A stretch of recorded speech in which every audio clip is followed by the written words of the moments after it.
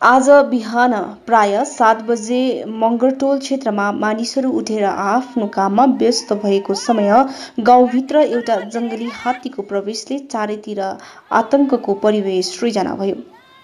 अस्ति मात्र कमल तामाङलाई जङ्गली हात्तीले आक्रमण गरेर सिकिस्त अवस्थामा उत्तर बङ्गाल मेडिकलमा भर्ना गरिएको खबर प्रकाशनमा आएर पनि वन विभागद्वारा आवश्यकीय पहल नगरिएको स्थानीयवासीहरूको आरोप छ।